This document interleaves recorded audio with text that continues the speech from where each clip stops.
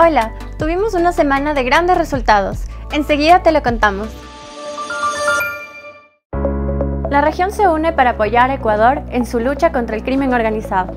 La canciller Gabriela Sommerfeld acudió al Consejo Andino de Ministros de Relaciones Exteriores y autoridades a cargo de la seguridad interna, que por unanimidad adoptó un plan de acción con medidas concretas y efectivas para luchar contra el narcotráfico. Crear un grupo de alto nivel el cual se encargará de hacer seguimiento al Plan de Acción Resolutivo PAR para combatir el crimen organizado transnacional. Hemos escrito un nuevo capítulo en la CAN y vamos a hacer lo que tiene que hacer para que sea una región productiva y llena de oportunidades. Davos fue el centro del debate mundial sobre economía. Y Ecuador estuvo presente. Con su participación en conferencias y reuniones de alto nivel, la canciller Gabriela Sommerfeld posicionó al Ecuador como un destino de inversiones y resaltó la cooperación.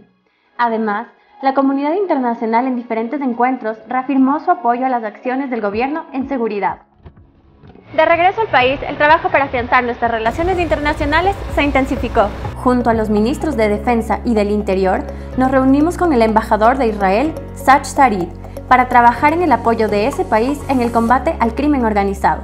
Asimismo, el vicecanciller Carlos Larrea recibió a los embajadores de China, Italia, Colombia y Francia. Así consolidamos una semana más de cooperación en favor de la paz para todos los ecuatorianos.